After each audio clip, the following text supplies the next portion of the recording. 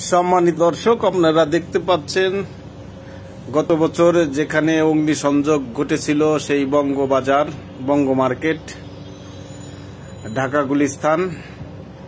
সেটাকে আবার পুনরায় মেরামত করে দোকান সাজিয়েছিলেন দোকানদাররা, কিন্তু সিটি কর্পোরেশন এটাকে আটতলা করবে। তাই এনডি কোম্পানির কাছে এরা কন্ট্যাক্ট দিয়েছে এবং সেটাকে উৎখাত করা হচ্ছে।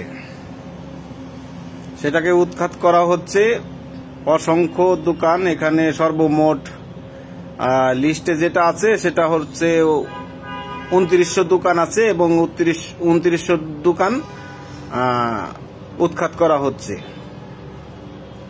আপনারা দেখতে পাচ্ছেন অনেক দর্শক দেখছে কিন্তু, অনেক ক্ষয়ক্ষতিও হচ্ছে। যদিও আমার মনে চাচ্ছে না এটাকে ভাঙতে, কিন্তু যেহেতু এনডি কোম্পানিতে চাকরি করি, সেহেতু তো দায়িত্ব পালন করতে হবে। এর জন্যই ভাঙচুর। আপনারা মনে কেউ কষ্ট নেবেন না। ভালো থাকবেন, বাই বাই, টাটা।